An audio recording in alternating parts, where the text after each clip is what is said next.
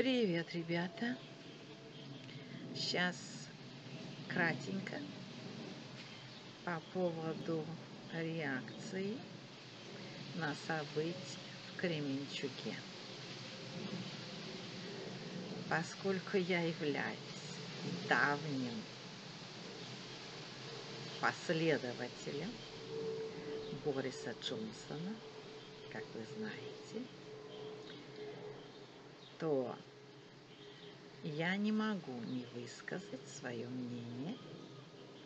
Я являюсь его последователем не в том смысле, что я его соратник, а в том, что я иду по его следам, как вот эти вот охотники, знаете, эти вот охотники, эти, которые там в тайге охотятся за белкой. И вот так вот я иду за ним по следам. И когда, как говорится, шельва споткнется, вот тогда-то, как говорится, падающего подтолкни. Мне искренне жаль, что люди стали жертвой этого Э, вот вы знали, да, что его назвали в честь вот э, русского человека по имени Борис. При всем уважении к маме Бориса Джонсона, которая стояла беременная э, вместе с его, значит, папой там где-то в Америке, в аэропорту, они были беженцы, и она там стояла вся беременная на последних днях, уже на сносях, как говорится. Вот. А у нее не хватало денег на билет, на самолет. А ехать так в поезде, в автобусе, там в автобусе, в основном через всю Америку можно на автобусе проехать, а, дол дол долгонько было в таком положении. И вот она такая вся, а тут стоит сзади человек и говорит, меня зовут Борис, когда они стали его спрашивать, вы хотя бы скажите имя, он говорит, меня зовут Борис. Он дал денег им. Лучше бы он этого не делал. И вообще вот как-то стала задумываться, надо имя Борис, вот как-то оно такое роковое для нашего народа. И Борис Ельцин, Борис Немцов, вот это вот этот вот Борис из Лондона. Вот так вот э, задумаешься, думаешь, э, надо, чтобы это имя только котикам давали. Борюсики все, котики, чтобы были этим именем награждались. Сорян. Если вы знаете кого-то, кто хороший Борис, только не говорите, что Борис Пастернак. По моему мнению, он, наверное, хороший поэт. Это все, что я могу о нем сказать. Все остальное его использовали точно так же. Кременчук. А в 90, не помню каком году, скажем, 93-м, а, у меня появилась э, так сказать, информация. Я тогда еще была молодая, тупая, необстрелянная училка. И, в общем, надеялась на что-то, как многие другие люди. Хотела как-то выжить, ребята, выжить. Очень было нелегко мне выживать в Литве. Так вот, в Кременчуге уже тогда, в этом 93-м каком году, окопались американцы. Так же, как и в Литве, на этом самом нефтезаводе, там, где мы с голоду дохли, с голоду вздыхали. Понимаете? Вот просто вот у меня был отпуск как раз в конце июня, у всех учителей отпуск. И я хорошо помню, что у меня просто не было денег. и просто не было что кушать. Вообще кушать и денег. Вообще беспросветно. И вот в это время э, одна подруга э, сказала другой подруге, а другая подруга другой подруге, и вот эта третья, которая была мне не подруга, она мне э, приехала, пришла ко мне и говорит, слушай, не хочешь ли со мной поехать мне вот в Рику, день рождения праздновать? Я когда-нибудь об этом расскажу, об этом дне рождения праздновать. А сейчас о Кременчуге. Значит, эм, как и в Литве, в так и в Америке, в Кременчуге находился нефтезавод. Лапу на этот нефтезавод наложили американцы. Это я знаю точно. Как говорится, эксклюзив. Также мне известно, что уже теперь, когда этот литовский нефтезавод принадлежит полякам, уже лишь бы Ивана не подпускать к трубе. Так вот было сказано, Ивана к трубе не подпускать. Чтобы вы понимали, кто такой Иван, это Иван, это Иван Полейчик. А Иван Полейчик, ну, прямо скажем, тоже он знаком, ну, во всяком случае, я с ним не знакома. Вот, но он, э, значит, э, был в свое время одним из топ-менеджеров Лукойл. Лукойл.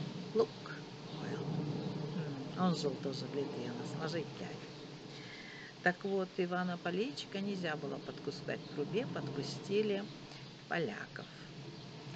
Поляки, в отличие от американцев, которых выпнули не потому, что э, президент Паксас, которого мы выбрали, это единственный президент у нас в Литве, которого мы до сих пор все в Литве знаем, что у нас был президент Паксас, которого сожрали просто и даже не выплюнули его тапочки, угрожая всей его семье и так далее. Эм, американцы потому пострадали, что они не платили налоги в Америке. А в Америке нельзя не платить налоги. Вот так этот нефтезавод остался без внимания. Э, кто там управлял в этом Кременчуге этим нефтезаводом с 93-го чи какого года, не спрашивайте меня, я не знаю. Я только знаю, что уже при поляках в Литве работали тоже э, вот эти вот ребята из Кременчуга. Почему я это знаю, я скажу. Я знаю это из других источников.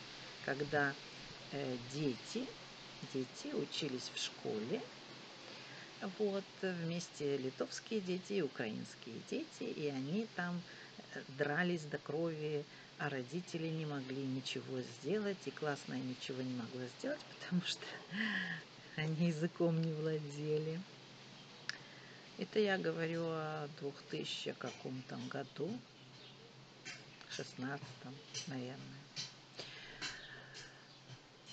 Э, значит, теперь так. Британия хотела бы наложить лапу на литовский нефтезавод. Ну, может быть, через поляков и наложила, конечно. Насчет Кременчуга не знаю. То есть мы возвращаемся плавно к нашему герою, к Борису. Эм, я внимательно посмотрела э, значит, видосы например, у Шария можно посмотреть. Мне, я сказала, людей мне жаль, так мне людей везде жаль. Мне э, с самого начала жаль еще, когда, э, когда еще Каддафи напали и все там разбомбили, а потом Сирию напали, разбомбили. Но, к сожалению, очень многим было наплевать. Провокация в, если вы помните, в Алеппо был такой город, и он до сих пор есть, но как-то все забыли про него, про Алеппо.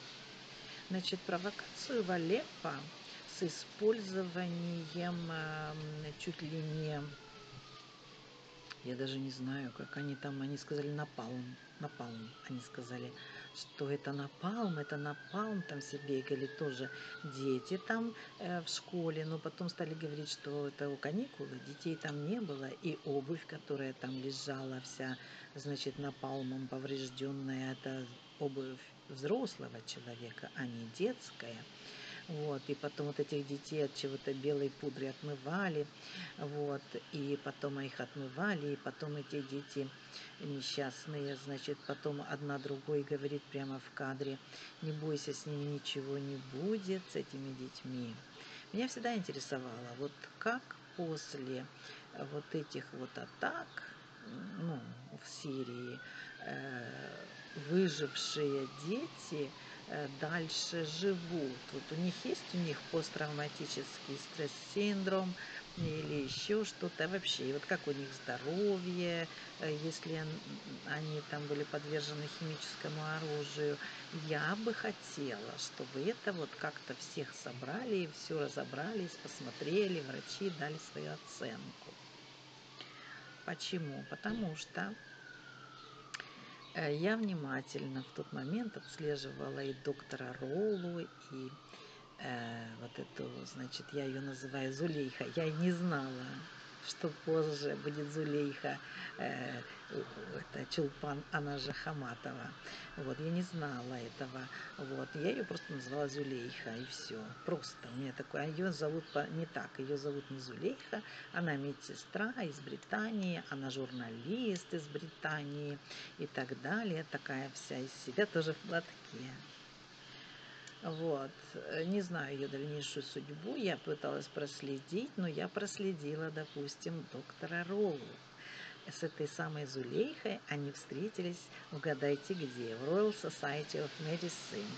И угадайте, э, как э, звучит тема. Тема звучала так. Bringing Catastrophe Home. Какой же это был год, не помню уже я сейчас, наверное, 14 или какой. Bringing Catastrophe Home. И вот они там выступали на этом митинге в этом РСМ в центре Лондона.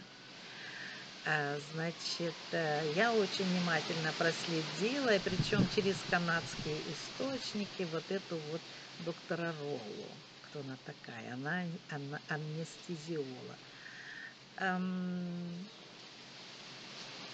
Борис Джонсон, будучи министром иностранных дел, на момент Алеппо, возвращаемся в Алеппо, а, он, э, как мы знаем, глава в том числе разведок, как министр. Вот. И он, э, что произошло в момент этой атаки в Алеппо? Сначала же я вам сказала, говорили напалм, потом сказали, нет, не напалм, это химическое, э, ну там какое-то там оружие, не знаю что. Вот, значит, надо отрезать голову Асаду, как минимум, вот, э, и так далее. И Борис Джонсон резко, ну не он сам, а как бы вот нечаянно, Молодые люди, что меня тогда поразило, все они были европейской внешности, если вы понимаете. А все как на подбор, девочки и мальчики одного возраста, такие все с горящими глазами. Они были одеты в одинаковые футболки, и они э, у, рано утром возле посольства России значит, э, приволокли откуда-то на грузовике, привезли и э, навалили груду оторванных рук и ног эм, этих манекенов. Ну, пластиковые руки и ноги манекенов. Они навалили эту кучу перед посольством России. Э, и, ну и там делали они фотки, что и вот так и так, это вот Россия, она взорвала вот в Алеппо детей. если вы заметили, что я сейчас пытаюсь сказать, что эм, британский ум заточен под, э, скажем так, ну, как сказать, прецедент. То есть э, он выполняет все по э, определенной схеме, по паттерну. Вот паттерн существует, и он по этому паттерну действует. Эм, тогда это как-то вот не прокатило. Ну, я уже молчу про Скрипалей, может, отдельно я скажу. Теперь вот это в Кременчуге. Еще раз я намекаю на то, что я не знаю, кто собственник этого нефтезавода в Кременчуге. Не знаю. Просто и неинтересно даже это знать. Вот. Но одновременно меня не удивляет, что одновременно Ахметов подал иск э, значит, в суд эм, э, где там в Гааге или где-то, значит, э, по правам человека иск за то, что у него отобрали собственность и разгромили. Мне вот это понравилось, конечно, да. Это я считаю, что это был, конечно, фокус, Марокус. Только людей жалко, ну люди, люди, что люди. Еще раз повторяю, когда Каддафи против всех законов шариата э, выложили в торговом центре э, голова изнасилованного, э, израни, ну вот это тело его все в ранах, и держали несколько дней или там, я не знаю, и ходили все, кто хотел, и плевали на это, ребята, но это даже не смешно. Это уже даже не смешно. Между прочим, я затронула тему э, Commonwealth, и так ее подробно рассматривала еще немножечко, потом позже рассмотрю, не случайно, потому что Каддафи эти ребята выбрали королем королей накануне его смерти. Он был король королей. Каддафи закупил в Южной э, этой Корее трубы огроменные. Там, наверное, в эту трубу может влезать экскаватор. И вот эти трубы они поставляли, и он сказал, что вы в Африке, да, страдаете без воды, ребята, ну хорошо, я вам сейчас поставлять буду воду. Вся эта э, ирригационная система должна была пролегать от самого от Ливии через всю Африку и давать воду во все африканские страны. Кто хоть когда-нибудь бывал в Египте, э, и советую, там, где есть вода, там жизнь. В Египте там все процветает, несмотря на то, что вокруг пустыня, а там все процветает. И поэтому говорить о том, что Путин виноват в том, что он э, голодом морит Африку сегодня, это такая уже как бы небольшая натяжка. К сожалению, это не осуществилось. Но они присягнули, вот эти все, которые сейчас бегают, как эти маленькие собачки вокруг э, Бориса Джонсона и эм, э, этого э, принца Чарльза, который э, подарки получает чемоданами, э, 3 миллиона евро он чемодан взял подарков. Ну, как говорится, совет вам и любовь. Значит, э, вот эту вот э, хрень, прямо скажем, подгадали под, конечно, саммит этой так называемой семерки. На вот этом саммите семерки, на общей фотографии ни Вандерляйнихи, ни э, э, президента Японии не видно даже. Там всех затмевает э, э, экскаватор Борис Джонсон, э, дедулька, которому на бумажке написано, как ему ходить в туалет и, и как подтираться. Вот, по инструкции он ходит. И э, э товарищ из Германии, которого лично я всегда называю хитрый немец. Вот у него всегда такое. У нас в Казахстане был такой один мужик, и все его называли хитрый немец. Не знаю почему. Я когда впервые увидела вот этого вот дяденьку, я сразу подумала про него, что он хитрый немец. Не знаю почему. Вот. Ну и все остальные там вообще голоса не имели. Э, и э, разговор там шел только об одном, чтобы не допустить Путина до двадцатки чтобы они там не присягнули Путину на саммите двадцатки, как в свое время страны Африки присягнули Каддафи. Но так не вышло, к сожалению. Не вышло. Вот не получилось пока что. Но то будут стараться, я думаю.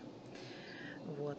Э, я посмотрела интервью Бориса Джонсона, в отличие от очень многих других и я внимательно следила за его выражением лица. Я три раза посмотрела его ответ, и в его ответе я искала у него на выражение, хотя у него трудно найти какое-то выражение, кроме вот этого вот вида бульдожьего, значит, вот эти вот глазки маленькие, он только когда он взбесится на вопрос. Один из вопросов был, Э, а как ты думаешь, э, почему ты думаешь, что тебе поверят вот эти из, из, из двадцатки, из семерки, когда они знают уже по э, голосованию в Британии, что тебе никто не верит? Ты, ты врун, так прямо и сказали, ты же врун, как тебе можно верить? А начиналось, конечно, вот это вот с Кременчуга интервью, и он сказал, что если были сомневающиеся, то теперь их уже нет. Ну и на этом пока-пока.